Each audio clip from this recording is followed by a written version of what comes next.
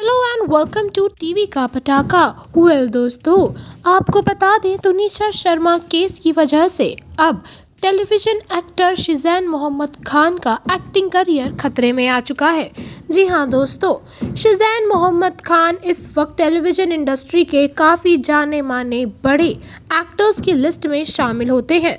लेकिन दोस्तों तुनिशा ने जिस दिन अपने आप को मौत के हवाले किया जिस दिन इस दुनिया को अलविदा कहा, उसी दिन तुरंत तुनिशा की माँ ने शिजैन के खिलाफ पुलिस कंप्लेंट दर्ज करा दी थी, जिसके बाद लगातार शिजैन खान पुलिस कस्टडी में है और वो अपने superhit television show Ali Baba Dastaan Kabul में शूट भी नहीं कर पा रहे। ऐसे में अब ज़्यादा समय तक शूटिंग को होल्ड पर नहीं रखा जा सकता।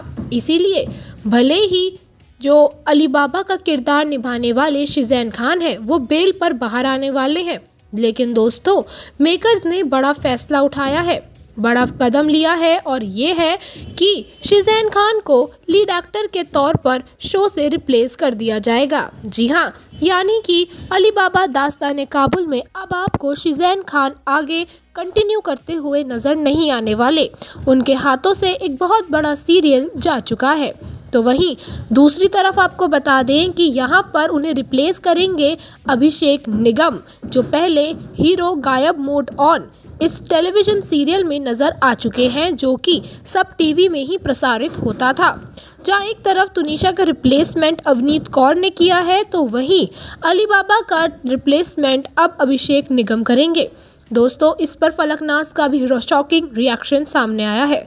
वो भी इस बात से काफ़ी ज़्यादा परेशान और हैरान है, क्योंकि शिजैन का फिल्मी करियर अब बहुत ज़्यादा खतरे में आ चुका है। अब अगला उन्हें कब बड़ा सीरियल ऑफ़र हो सका, ये बारे में कोई नहीं जानता। आप क्या कहेंगे? हमें अपने व्यूज़ कमेंट करके ज़रूर बताएँ, वीडियो को लाइक और शेयर करना अपना भूलें।